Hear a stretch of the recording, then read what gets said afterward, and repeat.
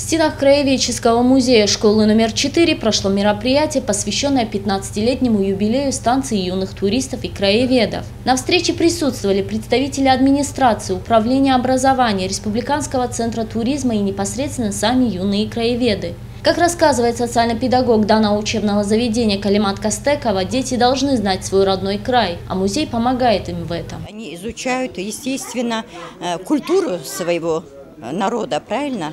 Э, есть и другая сторона, что они изучают э, не то что культуру, например, вот э, изучают их не горы, реки, моря. Например, у нас один из больших морей, Каспийское море, например, низменности, равнины изучают в этом кружке. Это необходимо.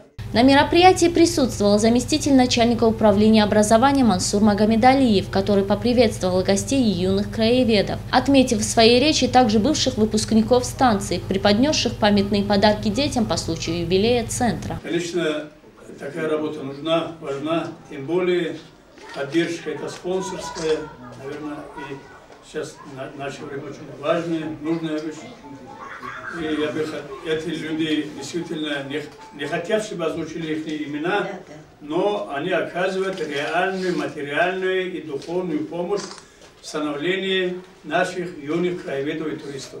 И хочу, чтобы они тоже стали настоящими людьми, настоящими краеведами и продолжили дела старших с приветственной речью также выступил директор школы номер 4 Ахмед Абдулаев, который поблагодарил гостей за визит и произнес напутственные слова в адрес юных участников мероприятия, пожелав добиться успеха в их любом деле.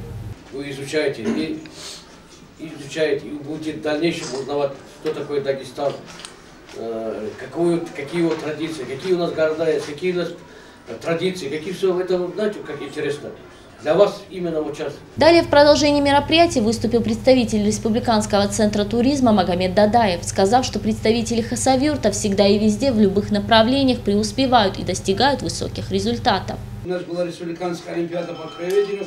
Хасавюртовцы выступили, я считаю, что это удачно. И четырех работает две третьи места и две те, которые вышли в финал. Я скажу, что, например, в прошлом году хасавюртовская команда на республиканских соревнованиях по туризму краеведению, они заняли почетное второе место, а до этого еще и было первое место. Изучение родного края, несомненно, идет на пользу подрастающему поколению. Знать красоту и особенности дагестанской природы должен каждый. Главная задача педагогического коллектива образовательного учреждения – воспитать любовь к родному краю, отметили организаторы в завершении. Бека Сулейманова, Магомед Тимир Султанов. Информационная программа «Пульс».